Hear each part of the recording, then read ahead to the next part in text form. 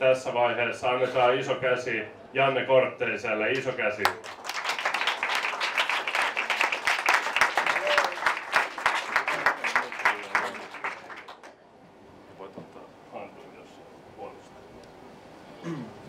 Joo, moi moi Janne. Tää on Tutti Saarna.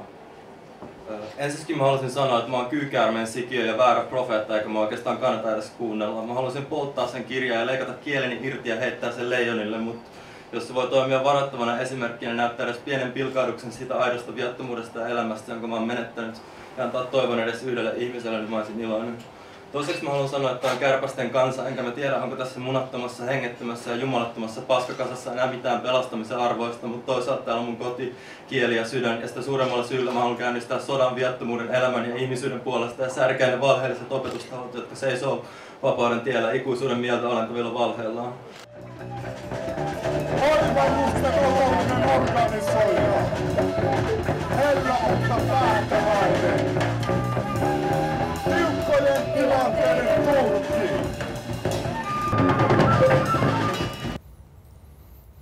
Musta se on hienoa, että ihmisiä, joilla on sanottavaa, niin saa sille sanomalleen yleisön ja sitten saa purkaa sen niin kuin sisäisen tunteen tavallaan niin kuin siihen yleisöön. Mä luulen, että ihmiset uskaltaa näistä tapahtumista tulla Framille siis sen ilmapiirin takia. Siihen on niin kuin monia syitä, että tilat, missä ollaan, ne ei ole missään, että on kilometrin korkunen lava ja saat eristyksissä yleisössä. Lavat on matalia, saat mikinkaan ihmisten keskellä. Mä oon kuullut esimerkiksi, että on sanottu, että, että ihan olisi niin semmoinen oma harras seurakuntansa, vaikka siis porukka on ihan tosi, niin kuin, tai ei se ole mitenkään niin heterogeeninen se porukka, että kaiken ikäistä ja näköistä ja olosta porukkaa, eikä ne välttämättä mitenkään tunne toisiaan. Mutta mä oon Aino ja tää tässä, tää on mun sielu. Eli ilu ja suoraan Alkon kuitteihin pöydässä kirjoitettuna. En tiedä onko teille kaikille, mutta voisi ehkä olla teille kaikille.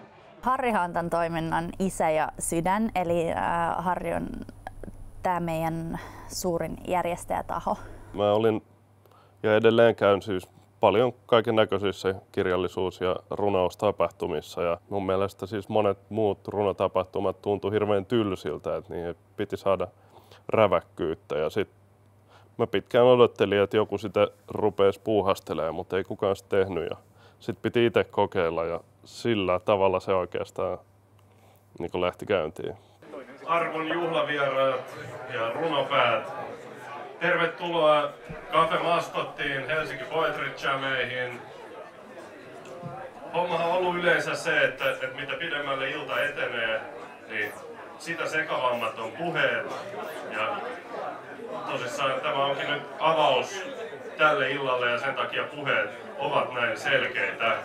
Eka ilta meni niin hyvin, että tuntuu, että kyllä tässä on pakko toinen ilta järjestää. Ja sitten ilta toisensa jälkeen se homma jotenkin laajeni. Ja...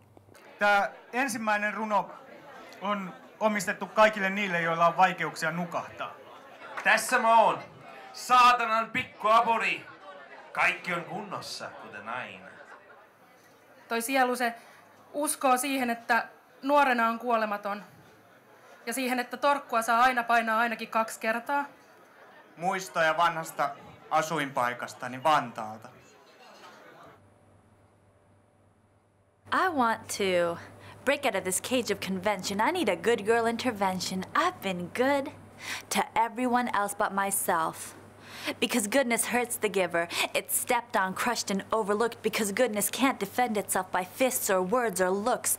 It's helpless and innocent like a baby before it knows any better. But I've learnt my lesson. My only weapon is a confession. I want to be a James Dean, Jackie Brown, any Quentin Tarantino film type of character with a twist. And slowly, I've been able to resist the urge to say yes and love the word no. I've transformed not into a full force, full hands on rebel, no. My methods are more clever. I'm a rebel with a bite. I'm rebel light. No mä löysin tota Helsinki Party Connectionin silleen, että tota, se oli varmaan kaksi vuotta sitten. luin siis lehdestä vaan, että on siis tällä runoilta ja siellä on open mic. Ja mä olin oottanut tilaisuutta esiintyä tällaisessa tapahtumassa siis monta, monta, monta vuotta. Suvi oli ensimmäisessä illassa. Se on ensimmäinen ihminen, joka koskaan ollut open micissa meille esiintyy. Menin heti nykäseen sitten Harri hihasta ja mä olin siellä, että saanko esiintyä open micissa ja Harri sanoi, että totta kai. Ja mä olin ainoa siellä ensimmäisessä tapahtumassa ainoa open micin osanottaja. Se oli sen verran päräyttävää, että piti repiä hihasta sit sen jälkeen, että tuu seuraavalla kerralla. Sessiot jatkuu. Haluan ottaa kiinni takertumatta, pysyä mukana roikkumatta, olla liekeissä loppuun palamatta, tulessa, tuulessakin sammumatta. Myrkky tekee sydämestä kiivaan, päässä käy huimaus ja vatsassa tuntuu turvallinen pieni oksetus. Toverit yhteen, sokeri kytkää, loputkin nylkää, kun toisistaan kylpeä. Silmis sylkää, kilviks kylkää, kollegat arvoisat ja ylpeät. Tämä spoken word juttu on vähän niin kuin, ehkä sellainen niin kuin rapin, räppigenren, vähän sellainen pikkusisko. Se on ollut hienoa mun mielestä, monet räppi-ihmiset on nyt, kun tää on rantautunut vähän Suomeen enemmän, niin tullut sanoa, että mahtavaa, että musta olisi kiva tulla kans vetää niin kuin spoken wordia. Kuka se olikaan, joka loi maa ja meret? Jos on todisteita, voisinko saada ne?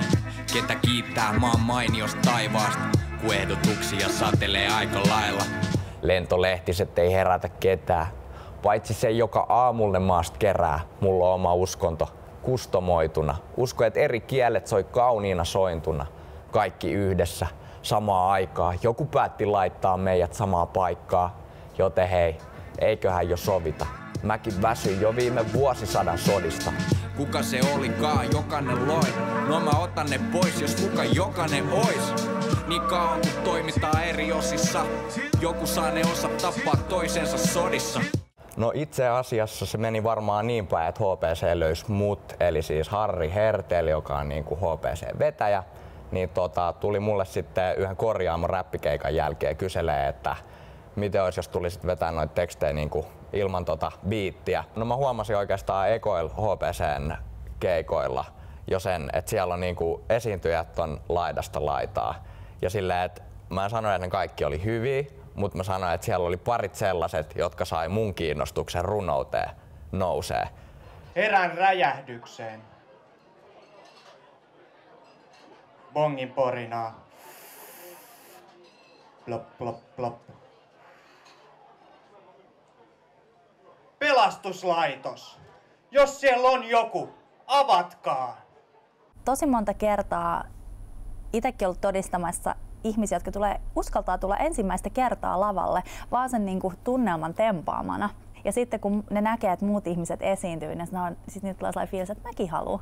Mäkin menen tonne lavalle. Ne saattaa kirjoittaa jossain baaritiskillä runon tai muistella jotain vanhoja omia runoja ja käydä vetää sen. Ja se on ihan hirveän mukavaa todistaa sellaisia hetkiä, että ihmiset inspiroituu siitä.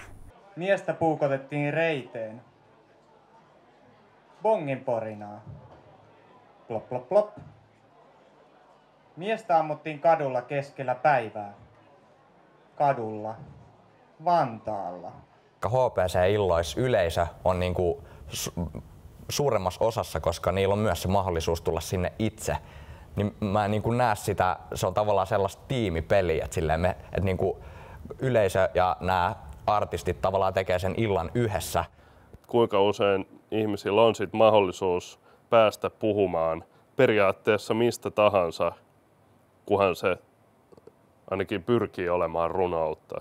Ja musta tuntuu, että mä oon löytänyt nyt sen, minkä puolesta mä olen oikeasti valmis kuolemaan, minkä puolesta mä olen valmis menemään inhimillisen pimeyden sydämeen ja selviämään siitä vielä hengissä.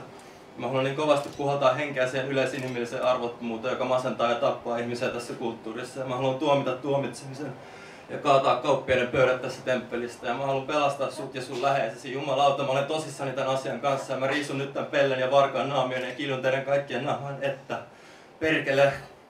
On suurelle, suurelle rakkaudelle. En minä sinua rakasta.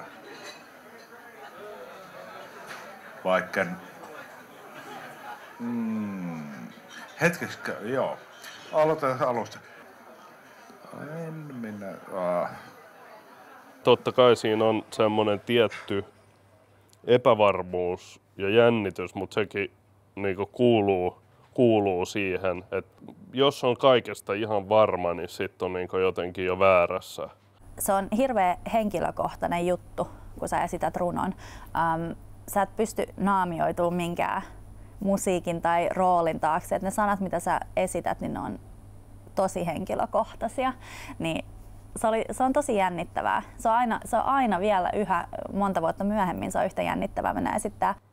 Se on semisti kauhistuttavaa, mutta sitten se on samaan aikaan ihan todella antoisaa. Ja varsinkin sitten, jos niin näyttää siltä, että yleisö todella ihmiset dikkaa siitä, niin silloin se on ihan mahtavaa toki. Ja se haluaa olla peloton. Ja se haluaa puhua sanoja, joita voi melkein koskettaa. Uskallatko heittäytyä? Mikä on liian riskiä? Onko uhkarohkeus rohkeutta vai itsekeskeisyyden sokeutta? Poetry Jameissa me ollaan leikillisesti jaettu runo hilloa, eli ihan hillapurkkeja jokaiselle, joka tulee open mickiin. Ihan on niin symbolisesti vaan annetaan, annetaan sitä hilloa niille, että joku myös niin palkinto ja ei porkkana, vaan hillapurkki odottaa sitten. Että en minä sinua rakasta. Kai sun soittoa odottaa saan. Ja mon lattiat huolella lakasta. Tosin kuudetta kertaa jo vaan. Mä luulen, että se on lähtenyt siitä, että tapahtumat on ollut mielenkiintoisia ja porukkaa saanut kokemuksia ehkä nähnyt jotain semmoista, mitä ne ei ole aikaisemmin nähnyt. Juot aina liikaa ja olet niin kaunis. Sanot aina liikaa ja olet niin pyhä. Katsot sivuun, kun puhut suoraan. Syöt sanasi, kun näet, että niin on hyvä. Ärkioski ryöstettiin Vantaalla. Ärkioski ryöstettiin toisen kerran viikon sisään Vantaalla. Ärkioski ryöstettiin kolmannen kerran kevään aikana Vantaalla. Plop, plop, plop. Keräsin plussapisteet yhteen ja muutin takaisin Helsinkiin. Plop, plop. Kiitos. Kumminkin enemmistö haluaa tuntea kuuluvansa jonnekin ja johonkin ää, suurempaan kokonaisuuteen. Ja mä luulen, että niinku just HPC-illat saattaa olla sellaisia, että saadaan enemmän, niinku, enemmän osviittaa siitä, että mitä muilla on mielessään ja mitä sulla on mielessään ja kuinka hyvin ne niinku, tavallaan menee yhteen. Yleensä se on silleen, että kun yksi uskaltaa tulla, niin sitten siinä tulee sellainen vyöry ihmisiä. Ihmisillä on hirveän iso ilmaisun tarve yleisestikin. Että tota, mä luulen vaan, että kun luodaan ne sellaiset lämpimät ja hyväksyvät raamit, että tämä ei niinku perustu kritiikkiin. Sen täytyy lähteä siitä, että, että niinku kaikin tavoin pyritään osoittamaan, että se on niinku, että, että sitä halutaan todella, että me halutaan, että jengi tulee sinne mikin ääreen. Ja... Et niinku HPC just se, että niinku yleisö on mukana siinä tapahtumassa, niin tekee musta siitä aika ainutlaatuisen kuin se, että sulla on joku artisti, joka on siellä Norsunluun tornissa ja sitten kaikki katsoo vaan, että oi vitsi, toi on niin hieno ihminen. Että niin kuin, että HPC-klubeissa kaikki on hienoja ihmisiä. Että minkään kätketyn näön äkillinen välähdys. Elämä on Jumalan sydänkohtaus. Otto nolla siis. Kukka kastaa kasvonsa veteen ja avaa silmänsä. Avaruusu, taivaan kasvi, kaukana. Tuo kolmas silmä, nollas läsnäolo, hän, näkymätön. Maa, aamu, pikkuinen, auki kirkkauteen. Kiitti.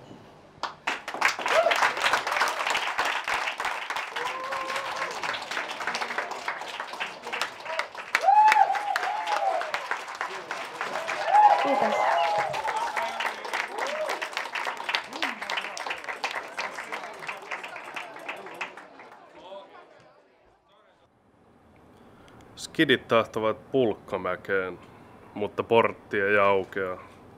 Sitä pitää vetää, sitä pitää ymmärtää ja rakastaa, kuin takkinsa vaihtanutta närheä. Mitä jos mikään portti ei aukea? Mitä jos me kaikki tykkäisimme runoudesta? Me ei mahduttaisi tänne maskottiin. Tuuppisimme toisiamme narikassa. Jonottaisimme kaljaa tunnin tiskillä ja loisimme himoitsevia katseita nurkkapöytiin kohti hölöttäviä sanasisustajia ja lauselobbaajia. Onnettomimmat meistä jäisivät ulkopuolelle juomaan lämmintä viiniä kadun kulmaan, ja he polttaisivat sätkiä, nauraisivat hetken päästä talven hiakoitukselle. Skidit tahtovat pulkkamäkeen. Sossun luukulla henkilökunta hymyilee kuin puhkinaitu kissa. Sen karvat kiltävät onnea, posket punertavat kuin kartta, jota ilman ei voi eksyä.